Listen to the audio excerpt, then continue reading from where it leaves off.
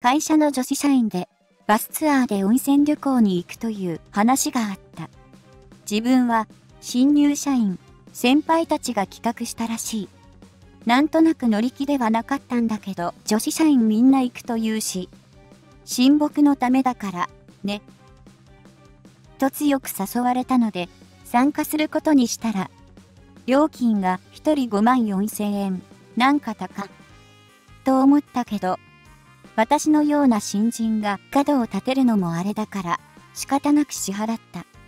片道1時間のバスに、大部屋で宴会と、雑魚寝の1泊2日にしては高いと思ったけど、今更、高いから行きませんとも言いにくい空気だったし、周りも納得して支払ってるし、旅行当日、知らない女性も参加していた。誰だろう？と思ったら、自分が入社する前に結婚退職して、他県に引っ越した元社員さんとのこと。ものすごく明るくて楽しい人だよ。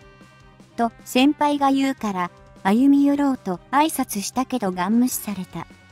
夜の宴会の時にその元社員が乾杯スピーチをして皆さん旅費までごちそうになって招待してくれてありがとう。とか言ってて。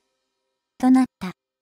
どうやら我々の参加料金に元社員さんの温泉旅館宿泊費と途中のビジホ宿泊費ここまで来るための飛行機代その他が含まれていたらしい。やたら高いと思ったら、当然、元社員さんは大人気で先輩社員たちと大盛り上がりで、カラオケとかスナックとかはしご。我々新入社員3人組は完全にはぶられて、ポツンと温泉入って、部屋のみで健康的に早寝早起きした。この会計の九段を母親に相談したけど、その会社で働いていたかったら、黙って気づかなかったふりしなさいと怒られた。社員旅行なんて二度と行かない。幹事の先輩に団体ツアーなんですか？どういうプランなんですか？と聞いたら、格安の団体ツアーを抑えて、人数できっちりと頭割りしてるから、明細とかはないけど信頼してと言われた。ここまで言われたらこじれるの覚悟しないと何も言えなくなる。そして後日、元社員さんからお礼の菓子折りが漢字宛てに郵送されてきた。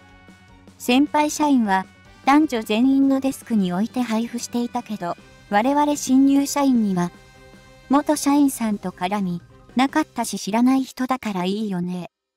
と先輩同士で話してて、お菓子は配られなかった。